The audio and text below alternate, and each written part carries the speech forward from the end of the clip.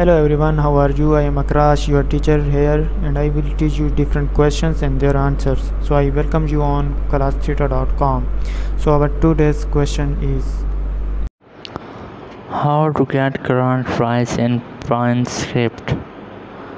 The answer of the question is close. So that's the correct answer of the question. If you have any question, just leave a comment. I'll be answering you as soon as I can. Thank you very much for watching the video. Please don't forget to like, share and subscribe our channel. Until next question, bye bye.